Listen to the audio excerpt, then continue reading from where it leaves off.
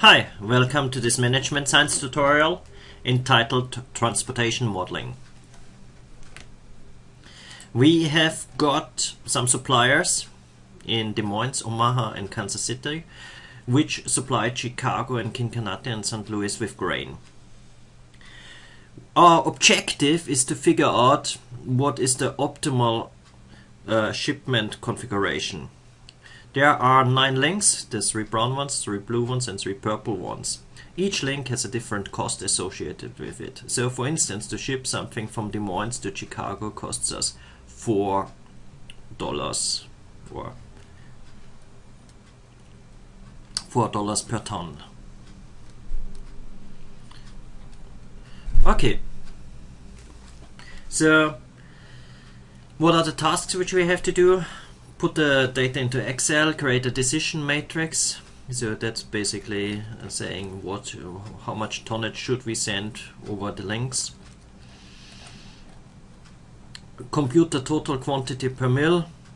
That means how much is shipped to the mill, and uh, of course how much we supply per elevator.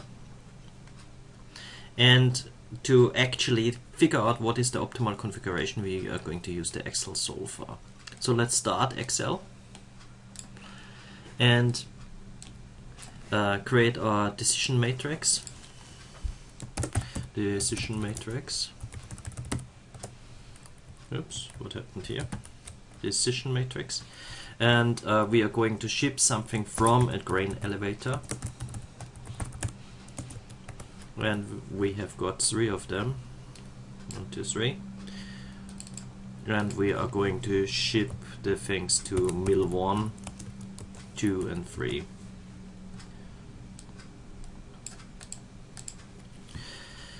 so we'd like to decide how much tonnage shall we send from grain elevator 1 to mill 1 from grain elevator 1 to mill 2 etc taking into consideration the costs which we are going to specify in a second.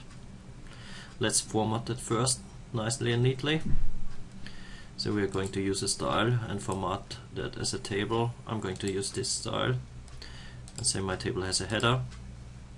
I'm going to convert it back to a range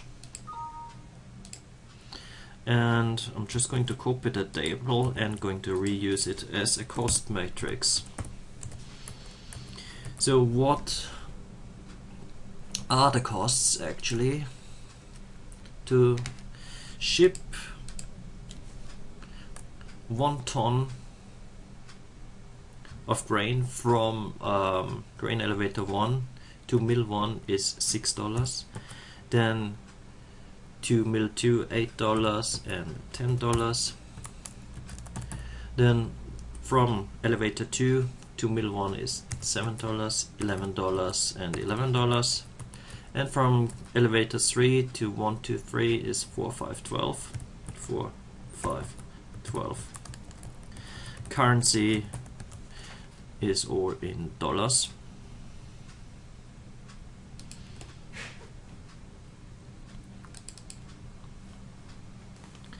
Um, and all these units are per ton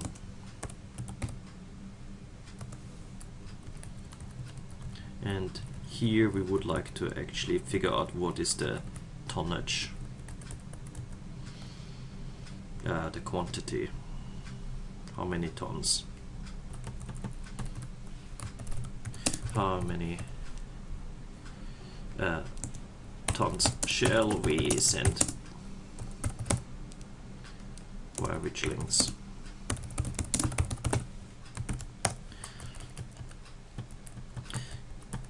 Okay, before we can decide about that, we need to know how much do we need in each mill and um, how much can, we, can each grain elevator supply. So let's start with the supply. So the supply from grain elevator 1, what is the maximum supply? We had that in our specifications here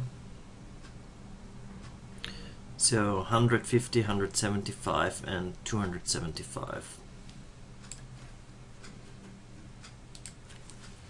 175 uh,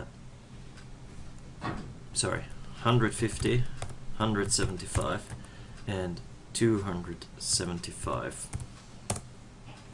probably would have been easier if I just copied it. It's not so easy to copy actually. Let's see can I copy it from the specifications? Yeah I could but it looks quite ugly.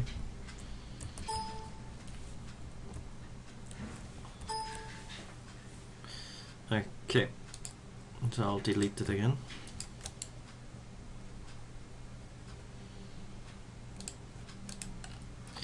Okay, anyway, now that we've got the supply, let's just look at the demand.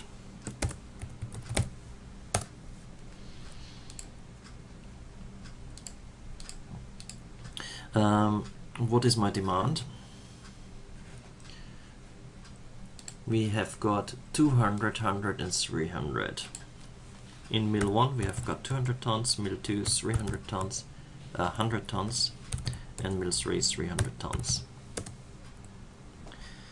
So the total is, what is the total? The total demand is 600, uh, 600 tons and what is our total supply?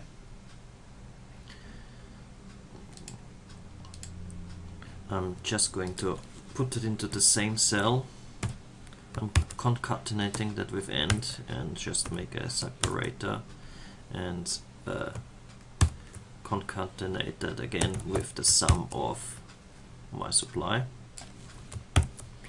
Now I can see 600 is my demand and 600 is my supply. So that's that's great. That, that means I have a balanced supply uh, balanced transportation problem. I mean supply equals demand. Good. Um, so these are my limits, but I would like to know also what is actually, what do I actually ship? I would like to uh, record that as well. So I'm just going to shift it slightly down there. Shift that as well. Um, I'm just going to move these couple of cells to the right.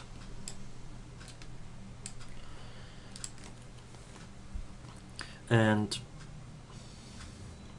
we are going to say um, how much have I shipped. And how much have I supplied.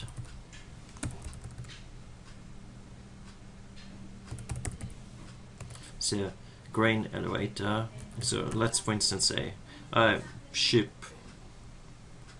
10 tons from grain elevator 1 to mill 1, 20 and 30. So these are arbitrary values right now, just, just to test it out whether it works. And this is the sum. So I've sh shipped now 60 tons that's those are 60 tons.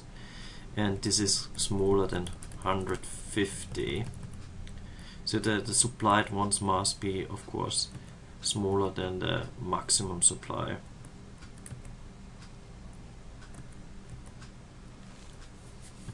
So maybe I should call that max supply.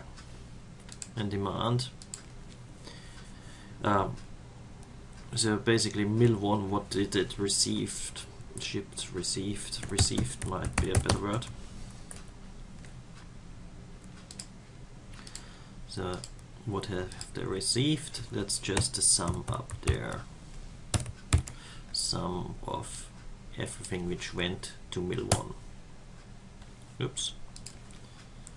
Okay, easier way. Sum 10. So for instance, put 5 and 5, so then we have 20 tons which I've received. Okay, so we'll just copy that formula, copy that formula. That all makes still sense. So if I change something in here, it should all be reflected. So 15 tons are supplied, 30.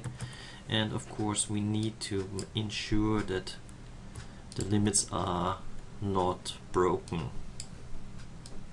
More precisely, eventually, eventually the total sum must equal this one. So that means the sum which I've got down here is 80 should be actually 600 eventually and um, just like before I'm just putting some two formulas together in one one cell that's a little string conversion trick. And here we go. So of course it could be unbalanced as well. But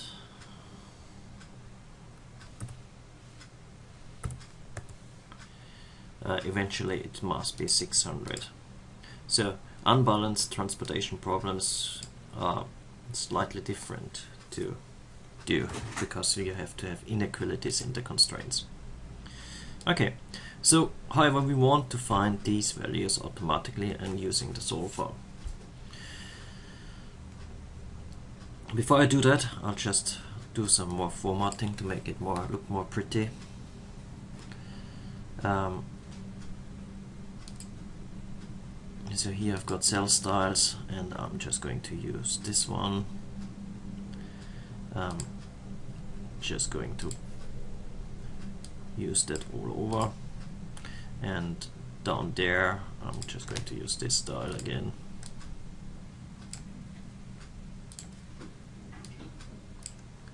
maybe not bold.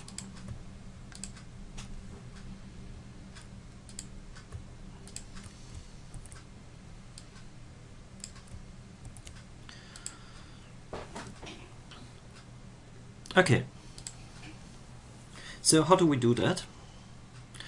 Um, well, first of all, we want to make sure that we maximize the profit. That's, that means we would go and multiply so we could do that manually this six dollars with the tonnage then we know exactly how much it costs us to transport 10 tons from elevator 1 to mill 1 which is of course $60 then of course we could propagate that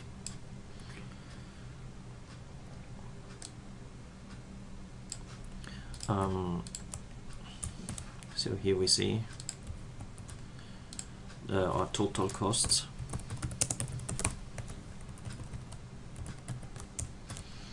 And we could just add them all up. So that means we go and do our sum. Do that for all three. And another sum of these ones gives us a total sum. Since we are doing that so often, there's actually a nice beautiful function which can do that for us, which is called sum product. I'm going to put it into the top. So uh, we want to minimize the costs. Minimize cost, which is the sum product. So we did a product first of the quantity times the cost per ton. So we do that now for all elements. And then we added them all up. This is exactly what the sum product function does. So if we compare it, 1025 is exactly the same as this 1025. So what I'm saying is we don't really need that. This is just an illustration of what the sum product is doing. Okay, so now let's find the optimal configuration. Again, we start our solver, which is in the data ribbon solver, and we want to to first say what is our objective. Our objective is to minimize the total cost, so minimize. And what cells are we going to change? We are going to change we are going to change uh, these cells. These are called our decision variables. And of course, this is subject to constraints. So I'll add some constraints. So first of all, the supply constraints. So these supplies must be always smaller than what we can supply, than the maximum supply. However, we can even go a step further and say they must be equal because it's a balanced transportation problem. Now, these are actually three constraints that it means. Uh, 60 must be smaller 150, 35 must be uh, must be equal 175. Right now they are violated, but eventually they should be fulfilled. Okay, let's add now the demand constraints. So everything which is received must equal the demand. 200, 100 and 300. Again, I'm going to use the simplex uh, simplex solver which is good enough and we get a solution. So the solution which minimizes our cost is this one. Well, it's there could be different solutions. However, the the solution value of $4,525 must be always the same. The tonnage might vary. In particular, we did not specify any integer values or anything like that, so um, there could be quite some odd tonnage as well. If our constraint, and I suppose it would be quite reasonable to say oh, our constraint is as well that the tonnage must be an integer, then we should add it to the solver as well. So solver and let's say let's add another constraint and say all these values should be actually integers and we can solve it again. Which is exactly the same. On top of that it's probably quite advisable to say none of these values should be negative. So to be completely correct we need to add another constraint which says all these cells must be uh, greater or equal zero.